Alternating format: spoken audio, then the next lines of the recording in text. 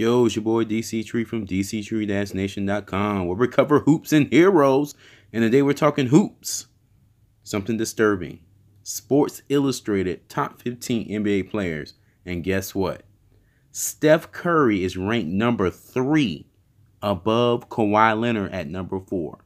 I don't tell you why that's ridiculous after this.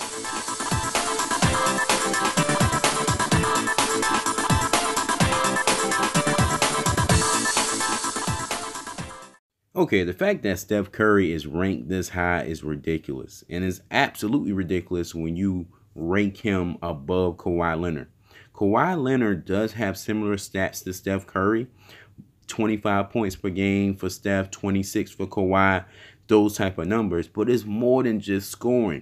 Kawhi affects the game on both ends of the floor. He's a franchise player.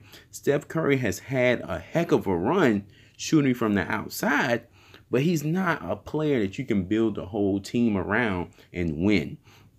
They, the Warriors won that first year mainly because the Cleveland Cavaliers were hurt.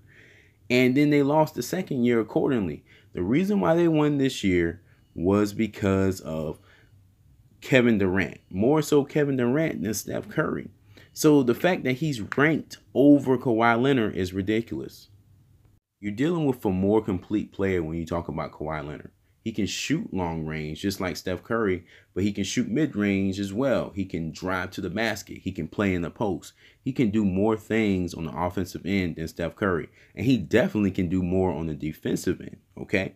The only player that probably should be ranked over him is LeBron James at number one. I can see that because LeBron, he makes the people around him better. He's averaging almost nine assists a game, which is which is amazing, you know, for a player his size. Okay. And he's averaging almost nine rebounds. That combination, you know, kind of overshadows Kawhi's numbers in that category. Kawhi is averaging about four assists and about six or seven rebounds, things he can improve on to kind of catch up with LeBron. Another issue I have is the fact that the list has three Warriors in the top 10. Draymond should not be in the top 10. I'm not even going to address that, but he shouldn't be in the top 10. Kevin Durant being number two, at this point in his career, being on a super team, I would rank him lower. But back to Steph Curry. Steph Curry isn't even the best point guard in the league. He's not better than Westbrook. Heck, he's not even better than Kyrie Irving. Okay? So Steph Curry should be nowhere near number three. He could be possibly top 10 material, but no way number three. All right, guys, that's it for my rant on Steph Curry.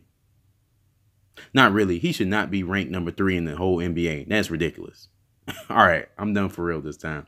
Go check us out at dctree-nation.com. Make sure you like the page, the channel, and check us out on Facebook.